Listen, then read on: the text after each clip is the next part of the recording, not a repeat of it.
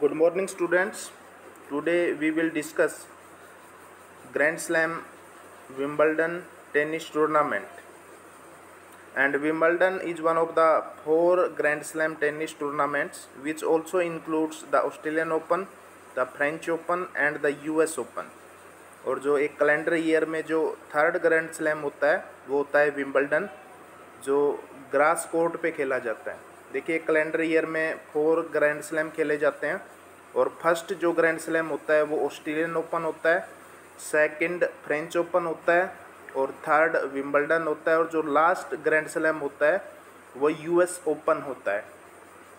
अब डिस्कस करते हैं, जो मैन सिंगल्स का जो खिताब है, जो विम्बल्डन है, वो जीता है नोवाक जोकोविच ने। और ये किस कंट्री से हैं? सर्बिया से। और जो वुमन सिंगल्स है विम्बल्डन वो जीता है एस्ले बार्टी ने, जो है ऑस्ट्रेलिया से। जो आपको पिक्चर में दिखाई दे रहे हैं, ये है नोवाक जोकोविच, और जो लास्ट में आपको पिक्चर में दिखाई दे रही हैं, वो हैं एस्ले बार्टी।